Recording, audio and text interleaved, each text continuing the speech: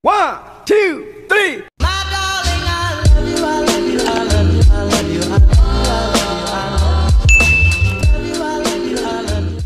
Hai everyone, jadi di video kali ini aku bakalan bikin tutorial mengubah emoji Android menjadi emoji iPhone di Pixel Lab. Buat kalian yang mau tahu caranya, langsung aja kita ke tutorialnya. Langkah pertama, di sini kalian harus download dulu emoji iPhone-nya. Untuk kalian yang pernah lihat video aku sebelumnya yang cara ubah emoji di CCP, pasti kalian tahu langkah ini dan kalian bisa lewati aja langkah ini. Tapi buat yang belum tahu, kalian bisa langsung aja buka aplikasi browser di handphone kalian. Di sini aku pakai Google Chrome.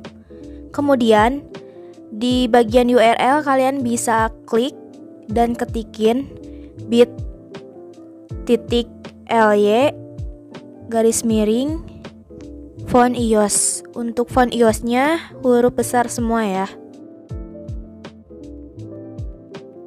Dan kalau udah kalian bisa klik enter atau oke. OK.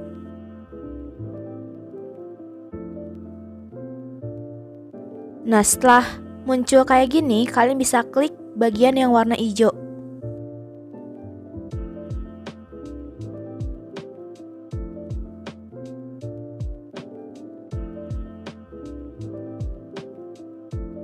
Dan kalian bisa lihat di bawah kalau misalkan udah ada seperti ini, Berarti itu artinya kita sedang proses mendownload. Jadi kalian bisa tunggu aja hingga proses downloadnya selesai.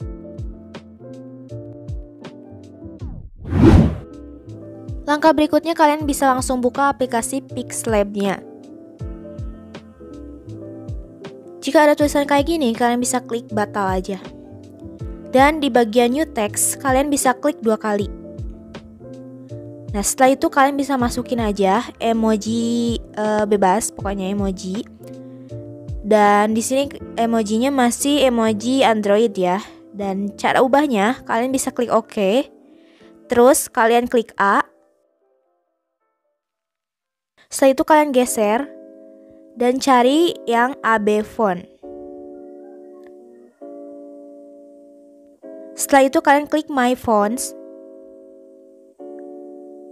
di sini kalian bisa klik tanda yang ini.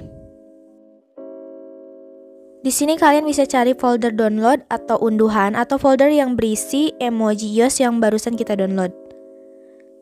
Nah, di sini aku bakal buka folder download. Dan di sini kalian bisa pilih iOS V13 Li Channel ya. Kalian bisa klik aja itu. Kalau udah, kalian bisa klik add selected. Terus kalian bisa klik aja di iOS V13-nya. Terus kalian klik OK. Dan kalian bisa lihat sendiri, emojinya sekarang sudah berubah menjadi emoji seperti di iPhone. Oke, jadi itu dia tutorialnya. Semoga bermanfaat. Jangan lupa like dan subscribe. Dan jangan lupa juga follow Instagram aku, @arlia280. Terima kasih buat yang udah nonton, sampai jumpa di video-video berikutnya. Bye-bye.